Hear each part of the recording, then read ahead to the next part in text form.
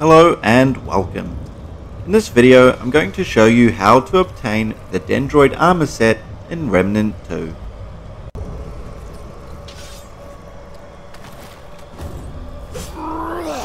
This light armor set can be found in Root Earth from the Ashen Wasteland checkpoint.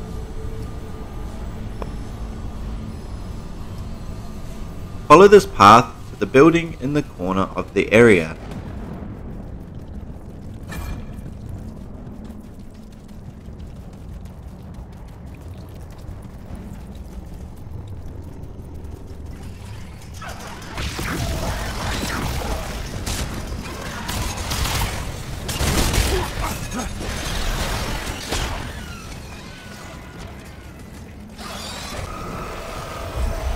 Once you reach the building, you will notice a small entrance which you can crouch through.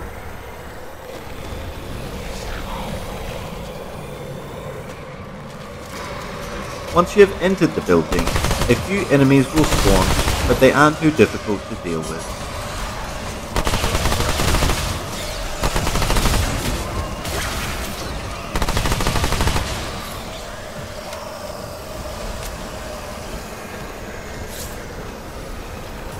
Climb the ramp and jump over to the other side.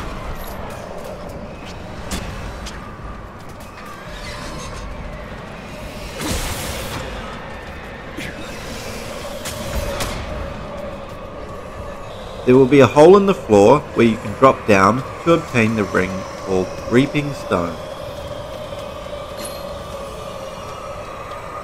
From the top without falling down the hole, you will see a stone platform near where you entered the building. Jump across to this and you will be able to access the area where you will find a steel katana and the dendroid armor set. That is nice. Well that's all for this video. I hope this was helpful. Please leave a like if it was and until next time,